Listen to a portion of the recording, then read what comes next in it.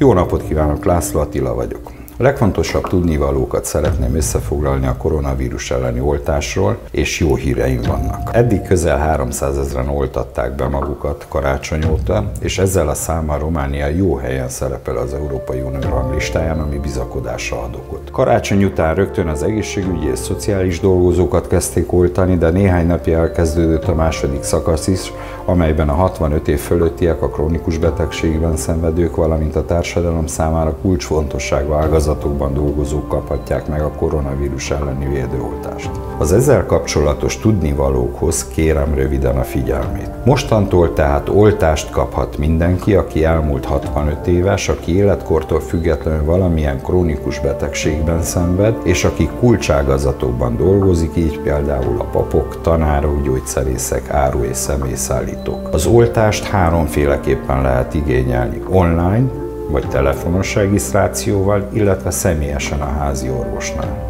A krónikus betegeknek azt tanácsolom, hogy inkább a házi orvosukon keresztül jelentkezzenek. Én is beoltattam magam.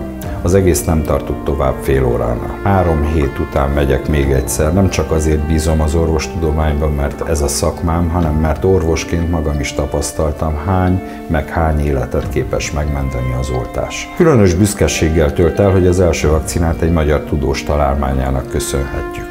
Kérem, bízzon ön is. Jelen tudásunk szerint az oltás nagy mértékben hozzájárulhat ahhoz, hogy a járványnak véget vessünk. És ezt úgy tehetjük meg, ha az emberek nagy többsége beoltatja magát. Ezért nem csak a saját egészségünk, hanem a közösségünk egészségét is óvjuk azzal, ha az oltás következtébe védetté válunk, és nem terjesztjük azt tovább. Arra kérem önt is, jelentkezzen oltásra minél előbb, és segítsen abba, hogy a környezetében lévő idősek és krónikus krónikus betegek is minél gyorsabban jelentkezzenek. Csak így lehetünk túl rajta. Győzzük le a járványt!